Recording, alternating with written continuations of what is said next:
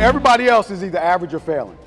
Now, these are the three most important that you said were the most important areas of your life, but you're not performing up to the level of what you say the importance is. So now think of it like this out of 100% performance, you have a gap of 30, 40, 50, 60, 70% that you need to close. And if you are not performing in the three most important areas of your life, what do you think the rest of your life look like? Exact. What's your name, sir? Thank Andy did like this. Thumbs down. That will be the call that you get from somebody saying you have been replaced. Now, here's the great thing. What we can do is close the gap.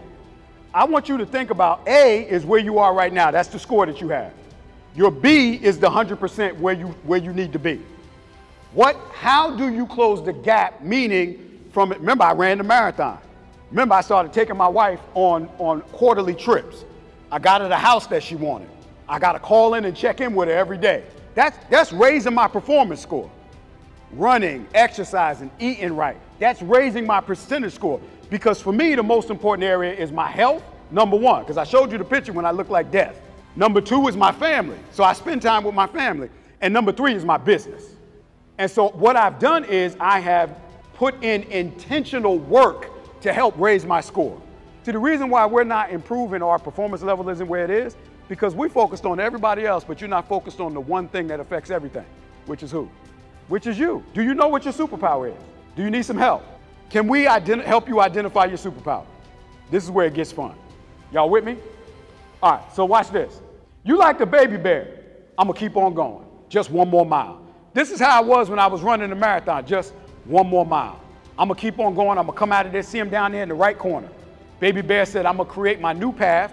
I just need to go one more mile. I just gotta keep on moving. I just have to keep moving. Mama bear still up there. That's your B. That's your 100%. Every day is not going to be easy. Every day is not going to be the same day. There's going to be some difficulties. You're going to have to keep on pushing. You're going to have to keep on fighting. But as long as you keep moving, you're raising your score. There's no right or wrong. There's no good or bad. For me, I am a lion and I'm a flamingo.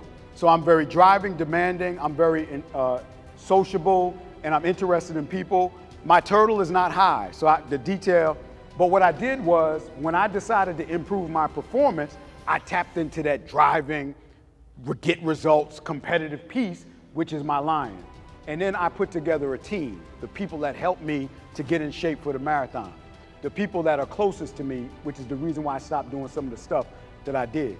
So in order for you to begin to raise up your score or get to your B, you have to first identify and then activate, say activate, your superpower, embrace it.